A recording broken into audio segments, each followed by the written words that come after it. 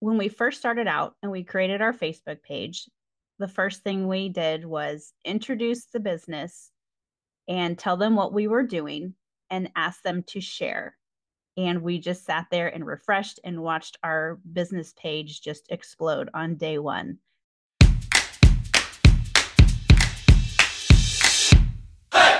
My name is Kimberly Turner, and I love all things baking and business. I went from having a home based bakery to opening a storefront in less than five months, which I successfully grew for nearly seven years. We moved our family back to our home state of Iowa, where I restarted my home baking business and started slinging cupcakes at local farmers markets from my renovated cupcake camper. I'm sharing the strategies and services that I use to grow my bakery year after year that you can implement to reach the goals that you want to achieve in your own baking business. Have questions on how to get started or feeling stuck and don't know how to grow? Stick around. I have so much to share. This is the Hey Cupcake Podcast. Hey guys, welcome back to the podcast. Today, I want to talk to you about how to grow your bakery business in the very beginning when you're just starting out you've just like set up your business, you're legal, you're ready to just hit the ground running, but you need customers, you need a following. So, I'm going to share with you five ways to grow your bakery business in the very beginning. And these are all things that we did in the very beginning. And even some of these we've done, you know, throughout the year. So, it's just not something that you have to do at the beginning, you can absolutely do these over and over again as your business grows, as you hit a plateau, as you're moving forward. But in the beginning, I will say the best way, the number one way to really start your business following to grow your business is by word of mouth. I will sing it from the rooftops. I will always tell people that is your best way to share your business, to promote your business is to ask the people that you already know to share your business, whether it's on a social media platform, whether it's just in person, but it costs nothing. And so remind them, hey, you know, and even just recently, last couple months, I've been in business now for almost a decade, I feel like.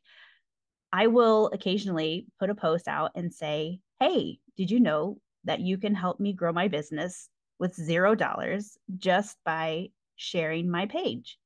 When we first started out and we created our Facebook page, the first thing we did was introduce the business and tell them what we were doing and ask them to share. And I can't remember the number of likes that we had in the first day, but it was literally hundreds.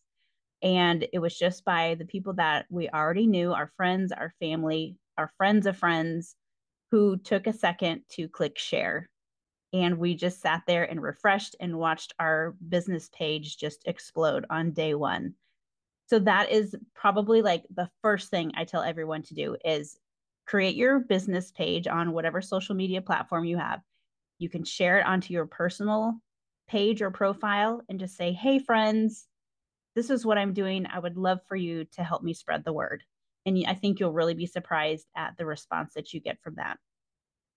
And then from there, you can post updates like, hey, we just hit 300 likes. Because these are the people that you already know and they know, like, and trust you. So when you're asking for referrals, and you see this all the time on social media, who are you going to trust when you ask, say, for a referral for plumbing service or a painting service? Are you going to trust a Google search or are you going to trust your neighbor who said, We had XYZ company do this service for us and they were amazing. I highly recommend them. You are absolutely going to take the referral of your neighbor over a Google search. I would. So that is just a really great way to ask your people to help spread the word about your business. Number two, is get involved in community events.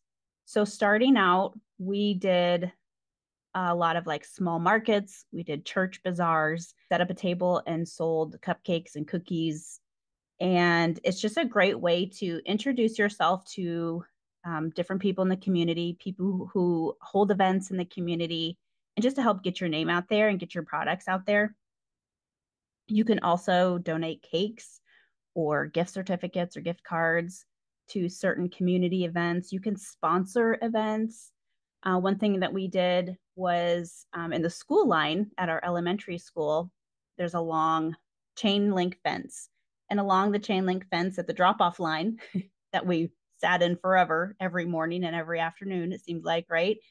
There were banners of businesses who sponsored the school.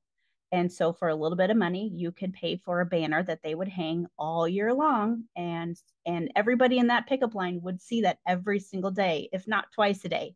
So that's a great way to get your name out there, especially if you are a baker. That is your target market. Like who who are the people who are ordering birthday cakes and cupcakes and desserts? They are people who have kids, who are having birthday parties, who are celebrating all these life events. That is your target market. It's a great way to get in front of hundreds of eyeballs of the people that you want to target for your business.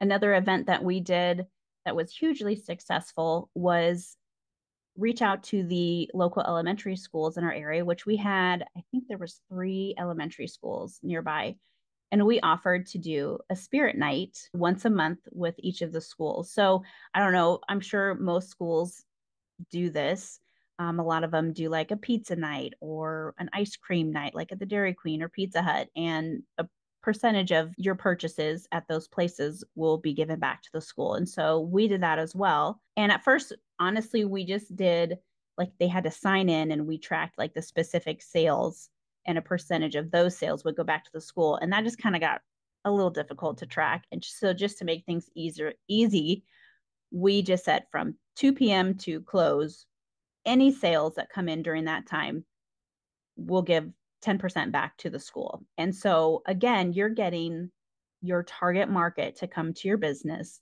to purchase your cupcakes, your cakes, your cookies, your whatever, and love them, right? And know that you're there and want to come back when they need cupcakes for a birthday party at school or a birthday cake for their birthday party, um, not just for their kids, but for their family and their friends. So that was a great way to really target our audience, the people that we really wanted to come in the doors. And that was every month for three schools. So three times a month, we had our target market walking in the door after school. So love doing the spirit nights with the schools. Number three, doing like a giveaway or a contest, especially on like your social media platform as a way to really get your name out there, you could offer a free product. So, say you want to offer like a free dozen cupcakes or a free um, a free birthday cake that they can redeem like within the first year for the, for their kid's birthday or something. That is a great way to get people to share your post, share your business because they want to win that stuff, right? And of course, you're going to have to follow all the rules for Facebook, Instagram, however you're going to do that. But um, it's a great way to increase your your following and a great way to get your product out there and for people to notice. So everybody loves free stuff, right? So a giveaway is a is a fun way to really um, promote your business and your products. Number four is to join your local chamber of commerce. I don't think we did this right away, but it's something that I did later that I absolutely loved um, was was becoming a part of the chamber, attending the meetings, attending the networking events. It's a great way to meet other business owners in your area. Some things that I was able to do because of other businesses in the community was to collaborate. A couple examples I partnered with a financial advisor company that was just around the corner from us.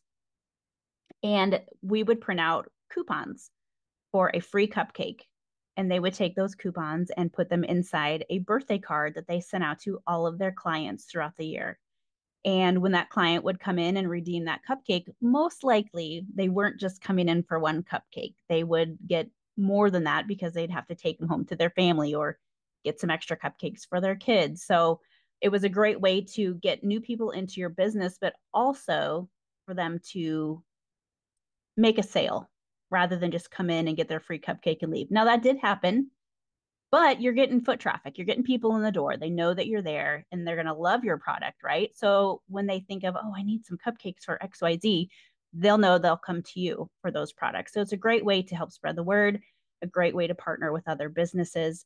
And then at the end of every month i would just count up the coupons that were redeemed let the company know and they would reimburse us for those we also partnered with a dance company in town and every year, when they would register for new classes, they would provide a goodie bag for all the new kids who signed up. And inside the goodie bags was, you guessed it, a coupon for a free cupcake.